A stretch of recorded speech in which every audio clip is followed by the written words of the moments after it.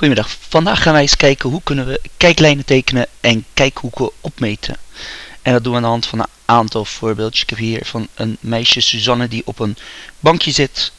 En hier zo van een aantal mensen die bij een schoolgebouw staan en door een ruit naar binnen kunnen kijken. En laten we eerst kijken naar Suzanne. Suzanne kijkt vanaf haar bankje, kijkt ze tussen boom 1 en 2 door. Wat wordt dan haar kijklijn? Nou, wat Suzanne dan kan zien is het volgende. Zij kan zien tot en met, tot en met boom 2. En zij kan zien vanuit haar ogen langs boom 1. Alles wat buiten deze lijn valt, dus alles wat hier valt achter die boom kan ze niet zien. En alles wat hier valt achter de boom kan ze ook niet zien. Tuurlijk kan ze dit ook wel zien en hier kan ze ook nog wel een stuk kijken. Maar als ze tussen de twee door, bomen doorkijkt, kan ze eigenlijk alleen maar dit stuk zien. Dus kan ze eigenlijk alleen maar dit stuk zien hier. Nou, wat is nu... Dit zijn dus haar kijklijnen als ze tussen boom 1 en boom 2 doorkijkt. Wat is nou Suzanne de kijkhoek? Nou, Suzanne de kijkhoek is dan dit. Dus dit is haar kijkhoek. De hoek tussen deze twee lijnen. Nou, hoe kan je die hoek opmeten? Dat doe je met je geodriehoek. Dus pak even de geodriehoek erbij. En dat doe je door de 0 te leggen op het hoofd van Suzanne. Dus de 0 op haar hoofd, dus waar de hoek begint. En je draait deze even iets door.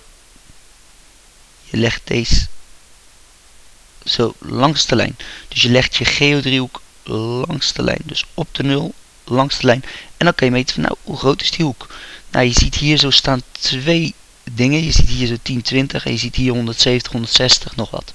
Welke moet je nou hebben? Nou, je moet altijd vanaf de lijn gaan tellen. Dus dat is deze. Dus dat is 10, 20 en dan zien we 21, 22, 23, 24. Dus dat betekent dat Suzanne haar kijkhoek is 24 graden. Dus als eerst hebben we de kijklijn getekend en daarna de kijkhoek opgemeten. En die kijkhoek is 24 graden. Nou, dat is dus bij Suzanne het geval. Nou, laten we eens kijken bij die andere mensen. Hier zien we een aantal mensen. We zien Azra, Koen, Katie, Jolien en Abdul.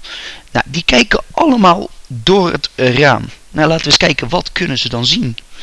Nou, laten we beginnen bij Azra. Zij kijkt vanuit haar punt door het raam. Dus dan kan ze zien tot en met de randjes van het raam. En dan kan zij dit dus zien. Dus zij kan Katie en Jolien kan zien, maar Abdul kan ze niet zien.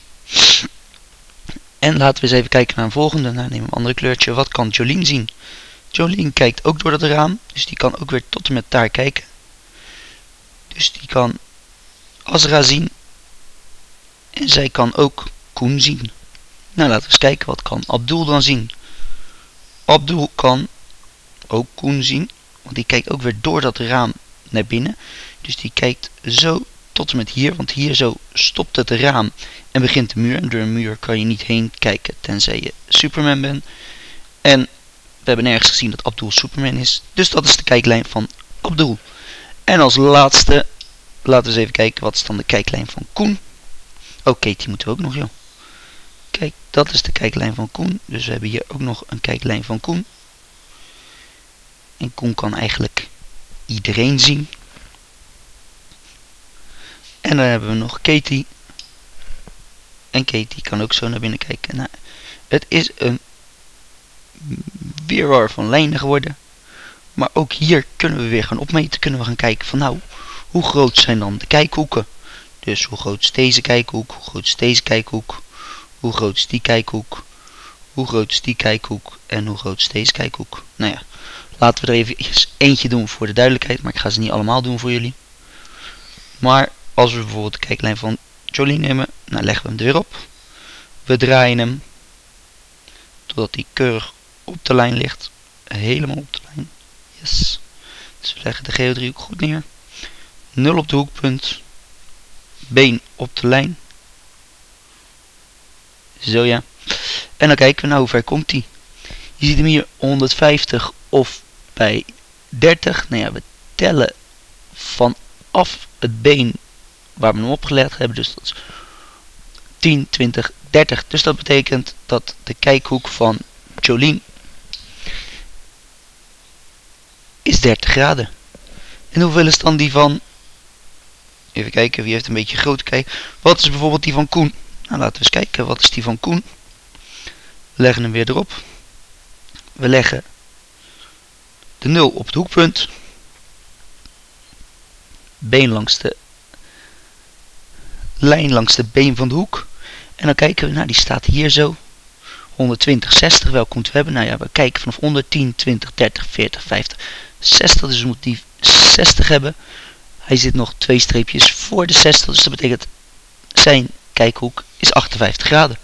Dus de kijkhoek van Koen is 58 graden. Nou ja, de rest kan je dan ook opmeten als je dat wil. Dit was eigenlijk de uitleg over kijkhoek.